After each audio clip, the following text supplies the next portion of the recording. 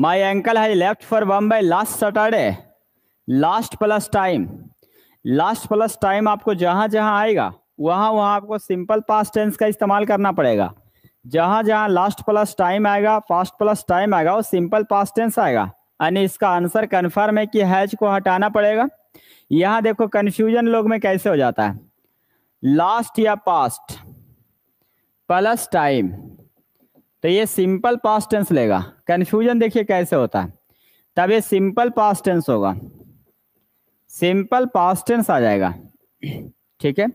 Simple past tense आएगा। लेकिन अगला विकल्प आपको थोड़ा सा ध्यान देना होगा कि लास्ट या पास्ट प्लस टाइम यदि इसके साथ हम द लगा दें, द लगा दे तो फोर आएगा। द नहीं रहे तो सिंस आएगा। मतलब फोर द लास्ट या पास्ट प्लस टाइम तो यही टेंस आपका कन्वर्ट हो जाएगा प्रेजेंट परफेक्ट कंटिन्यूअस में।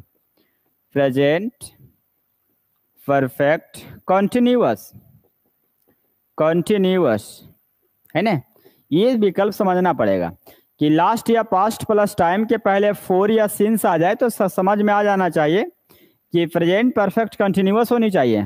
फोर दा रहेगा तो फोर आएगा, ये हटा देंगे तो सिंस आ जाएगा। तो लास्ट या पास्ट के पहले सेंस आ जाए तो प्रेजेंट परफेक्ट कंटिन्यूअस वो नहीं रहे तो सिंपल पास्ट टेंस आएगा।